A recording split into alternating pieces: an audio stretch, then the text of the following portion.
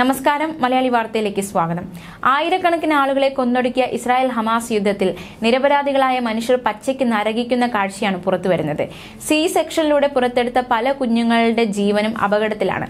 അമ്മമാർ മരണത്തിന് കീഴടങ്ങുകയും ചെയ്തു. മാസം തികയാതെ പുറത്തെടുത്ത കുഞ്ഞുങ്ങളെ പരിപാലിക്കാനുള്ള ഇൻക്യുബേറ്ററുകൾ പോലുള്ള മെഡിക്കൽ ഉപകരണങ്ങളുടെ അഭാവം കാരണം അൽഷിബ ആശുപത്രിയിലെ നവജാത ശിശുക്കൾ യുദ്ധത്തിന്റെ തീവ്രതയ്ക്ക് സാക്ഷ്യം വഹിക്കുകയാണ്. വാർത്താ ഏജൻസിയായ റോയിട്ടേഴ്സിന്റെ ഒരു റിപ്പോർട്ട് സൂചിപ്പിക്കുന്നത് കുഞ്ഞുങ്ങളെ അടുത്തടുത്തായി സൂക്ഷിക്കുന്നു. ചൂട് കിട്ടാൻ പച്ച തുണിയിൽ പൊതിഞ്ഞ് ടേപ്പ് പൊട്ടിച്ചിരിക്കുന്നു വാർത്താ ഏജൻസി പുറത്തുവിട്ട ചിത്രങ്ങളിൽ ചില കുഞ്ഞുങ്ങൾ നാപ്കിനുകൾ മാത്രം ധരിച്ചിരിക്കുന്നതും അപകട സാധ്യതയുടെ ചിത്രവും ഓരോ മിനിറ്റും കടന്നു പോകുമ്പോഴും അവരുടെ ജീവൻ ഗുരുതരമായ അപകടത്തിലാണെന്നും വ്യക്തമാക്കുന്നു. ഹമാസിന്റെ നിയന്ത്രണത്തിലുള്ള ഗാസ ആരോഗ്യ മന്ത്രാലയത്തിന്റെ വക്താവ് മേദത്ത് അബ്ബാസിനെ ഉദ്ധരിച്ച് ചില സോഷ്യൽ മീഡിയ പോസ്റ്റുകൾ മരിച്ച അമ്മമാരിൽ നിന്ന് സി സെക്ഷൻ വഴിയാണ് ചില കുഞ്ഞുങ്ങൾ ജനിച്ചതെന്ന് അവകാശപ്പെടുകയാണ്. വടക്കൻ എൻക്ലേവിലെ ഏറ്റവും വലിയ ആശുപത്രിയുടെ കവാടത്തിലേക്ക് ടാങ്കുകൾ മുന്നേറിയതിനെ തുടർന്ന് ചൊവ്വാഴ്ച തെക്കൻ ഗാസയിൽ ഇസ്രായേൽ സേന ബോംബ് ആക്രമണം നടത്തി. കനത്ത പോരാട്ടത്തിൽ പതിമൂന്ന് പേർ കൊല്ലപ്പെട്ടതായി ഗാസ ആരോഗ്യ മന്ത്രാലയം അധികൃതർ അറിയിച്ചു.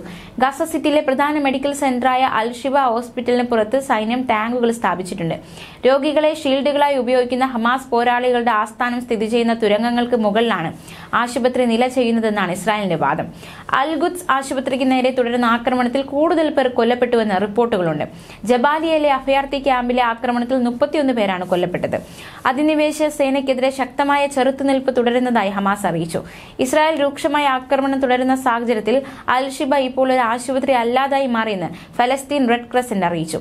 ആഹാരമോ വെള്ളമോ വൈദ്യുതിയോ ഇല്ലാത്ത രോഗികളെയും പരിക്കേറ്റവരെയും ദുരിതത്തിലാക്കി ഇസ്രായേലി സൈനിക വാഹനങ്ങൾ കെട്ടിടങ്ങൾക്ക് നേരെ വെടിവയ്പ് തുടരുകയാണ്.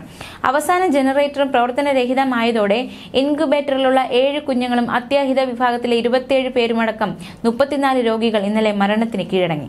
ചികിത്സയിലുള്ള അറുന്നൂറ്റി അമ്പതോളം പേരും മരണം കാത്തുകിടക്കുകയാണ്. നിരവധി താമസ കേന്ദ്രങ്ങൾക്ക് നേരെയും ഇസ്രായേൽ ആക്രമണം തുടർന്നു. യു എൻ ഏജൻസികളുടെ ആസ്ഥാന കേന്ദ്രങ്ങൾ തകർത്ത സൈന്യം ഖത്തറിന്റെ ഗാസ പുനർനിർമ്മാണ സമിതി കെട്ടിടത്തിന് മുകളിലും ബോംബിട്ടു.